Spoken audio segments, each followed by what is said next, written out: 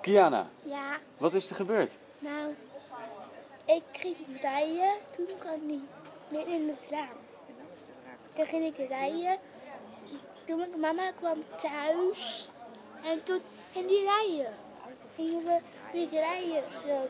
Toen stopte ik niet meer door, door de raam heen gegaan. Maar mocht jij gewoon rijden in de auto? Nee.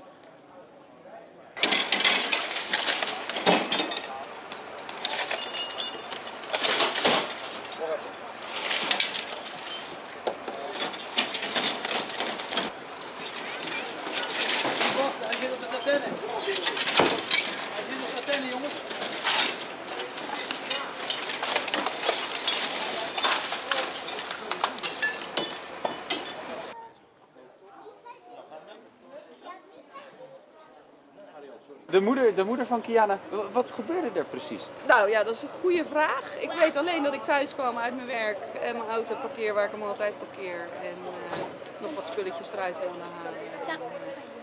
Nou, normaal gesproken kruipt ze niet in de auto. Nou ja, vandaag helaas is het wel gebeurd. Ik wilde nog wat boodschapjes pakken. En ja, voor ik er erg in had, ging die auto eh, bewegen. En ik probeerde tegen te houden. Ik val. En daarna is het allemaal een beetje weg, zeg maar. Maar uw dochter is dus de auto ingesnikt eigenlijk. Die is in de auto gaan zitten en normaal gesproken, hij staat altijd in zijn één geparkeerd en met de handrem erop. Nu, nu waarschijnlijk de handrem niet erop gezet. En de sleutel die zat dan nog wel in het contact, waarschijnlijk omgedraaid. Ja, moet wel, want anders dan gaan ze niet rijden natuurlijk.